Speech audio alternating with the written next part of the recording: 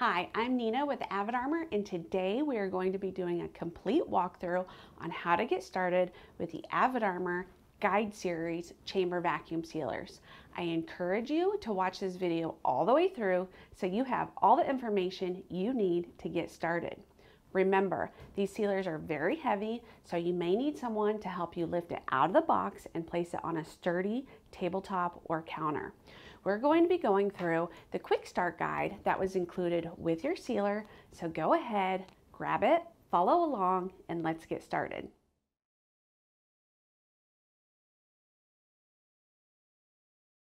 All right, now that your sealer is unboxed and you've removed all the plastic wrap, we're gonna go ahead and dive into the chamber to remove everything from in there.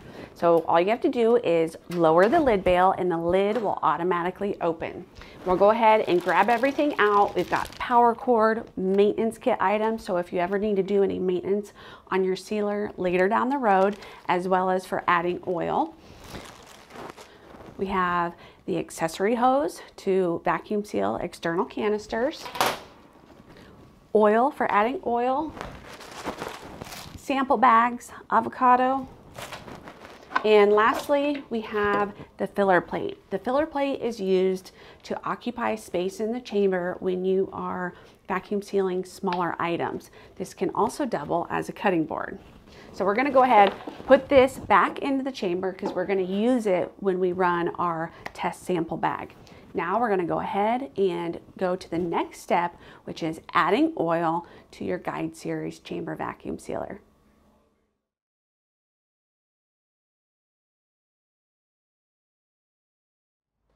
Okay, the very first thing that we have to do before we can use our chamber vacuum sealer for the very first time is to add oil. There may be residual oil in the pump already, but we have to add oil to the appropriate level before we can use it for the first time. For this step, you're going to need a Phillips head screwdriver or drill, the oil bottle that came with the sealer, as well as the oil refill bottle. Okay, I've already gone ahead and added oil to the oil refill bottle so we can add oil to the machine. Now we just need your Phillips head screwdriver and locate the four screws on the back panel of the machine. We're gonna go ahead and unscrew all four screws so we can remove this back panel.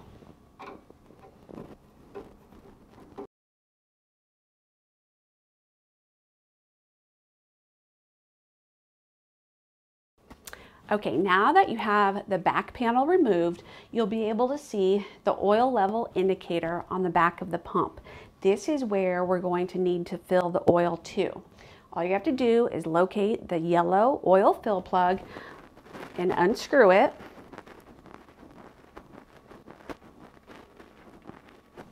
We'll set it aside, grab your oil fill bottle, and slowly add oil to the pump until you see the oil level rise to that middle oil fill level.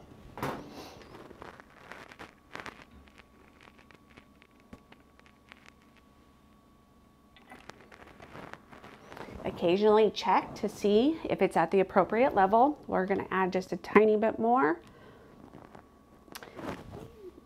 It appears to be at a good spot, so now we will put the oil fill plug back onto the pump.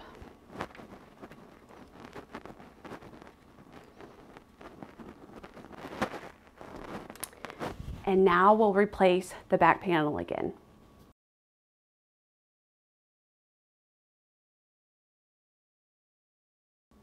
All right, now that we have the panel back on and the oil has been added, now we're going to go ahead and power on the sealer.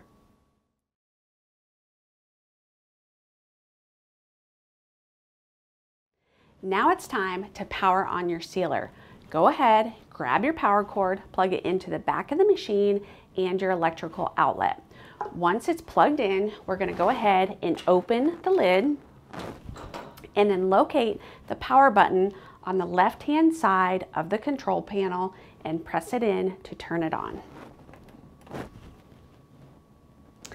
Now that the sealer is turned on, the next step is to run the pump conditioning program. So let's go ahead and get started.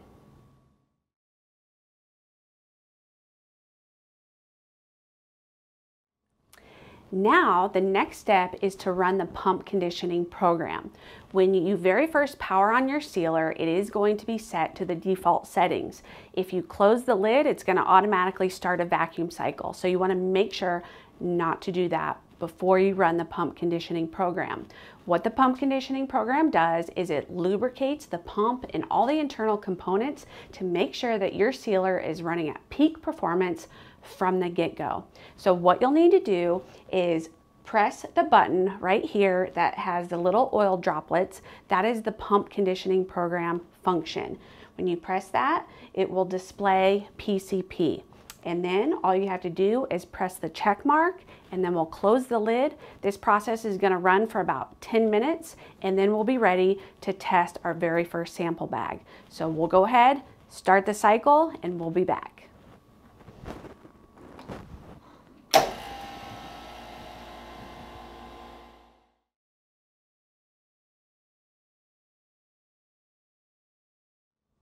We've completed running the pump conditioning program. So next we're going to show you how to adjust your vacuum and seal time settings. We wanna make sure that you're confident in knowing how to operate the sealer before you run your very first vacuum cycle. When the pump conditioning program completes, it will still display the PCP on the display panel. So all we have to do is press the pump conditioning program button and it will reset the sealer to the default display. So to enter into the vacuum time settings, you're gonna press the check mark and you will see this uh, vacuum time light illuminate. We are going to change the vacuum time setting to 50 seconds for our test bag. So to adjust it, you're gonna use the plus and minus buttons to lower or uh, increase your vacuum time.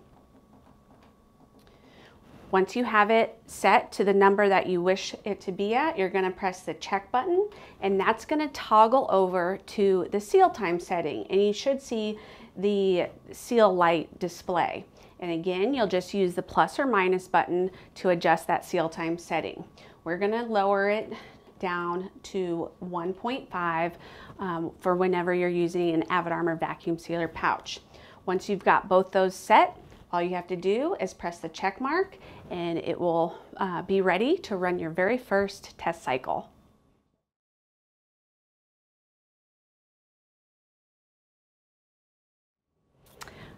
We've adjusted our vacuum and seal time settings and now we're ready to run a very simple test cycle. All we're gonna do is we're gonna close the lid, it's gonna automatically start a vacuum and seal cycle. You'll see the vacuum gauge begin to move. That means the chamber is under vacuum.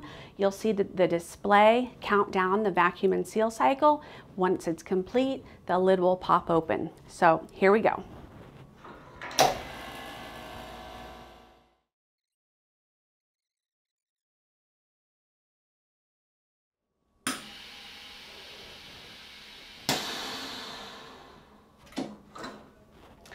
All right, when the cycle is complete, the lid will automatically open. Make sure you don't have your head or face or anything above the lid because you don't want to accidentally get hit. We don't want anybody getting hurt.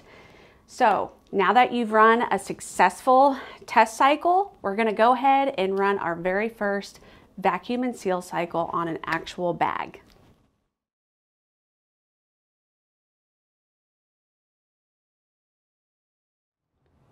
Lastly, we're gonna vacuum seal your very first pouch. So you'll need a sample pouch that was included with your sealer and the foam avocado. We're gonna go ahead, put the avocado in the pouch, and then we're gonna place it in the chamber. When you place it in the chamber, you're gonna wanna make sure that it's nice and smooth across the seal bar with the opening of the bag tucked behind the seal bar and is still inside of the chamber. Now, since we've already set all of our vacuum and seal time settings, all we have to do is close the lid. It's gonna run through the whole process and we'll have a completed vacuum sealed avocado when we're done.